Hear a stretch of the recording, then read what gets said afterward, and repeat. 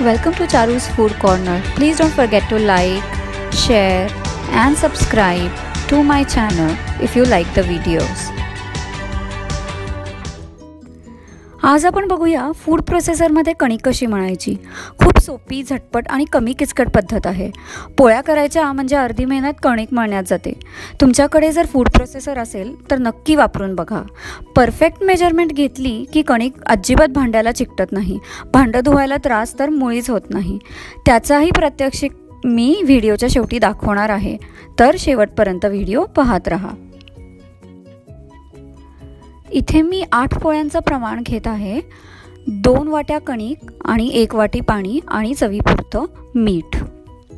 तुम्ही कुठल्याही कंपनीचा फूड प्रोसेसर वापरू शकता ज्याच्यामध्ये ह्या पद्धतीची अटॅचमेंट असेल. ती आपल्याला कणिक मळायला यूज होते. अटॅचमेंट घालून घेऊया आपण आता. आणि मग ह्याच्यात पीठ घालून घेऊया दोन वाट्या.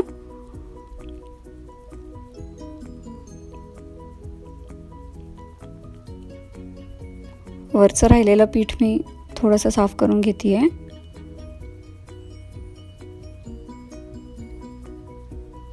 आणि आता त्याच्यामध्ये थोडंसं मीठ घालते आहे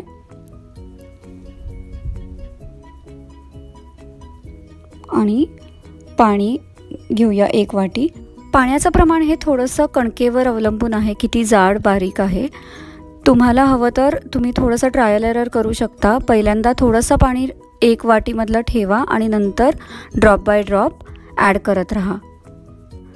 लो मोड किंवा लो सेटिंगवर आपल्याला कणिक मळायची आहे. हाय मोडवर करू नका. एक अर्धा मिनिट झाला की ते सगळं एकजीव व्हायला तयार होईल आणि एक छानसा गोळा तयार होईल.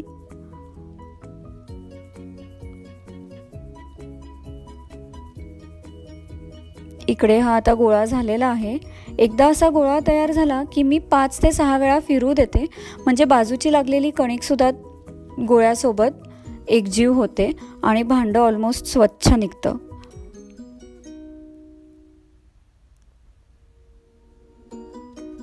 तर ही आता झालेली आहे.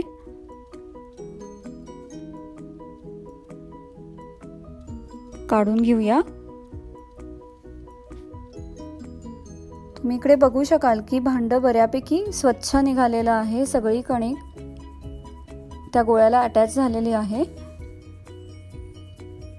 थोडी जी राहिली आहे ती आपण उचलून त्याच्यामध्ये परत ॲड करू शकतो. मी कणिक काढून घेतलेली आहे आणि इकडे बघा बऱ्यापैकी भांडं हे स्वच्छ निघालेलं आहे. धुवायला फार त्रास होत नाही मग. इतक्या स्वच्छ निघालेलं असलं की.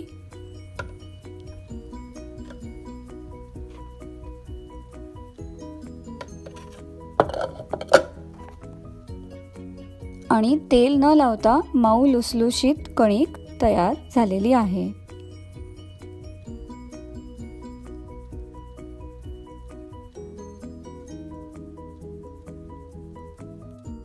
तुम्हाला हा व्हिडिओ आवडला असेल तर सबस्क्राईब करायला विसरू नका. थँक्यू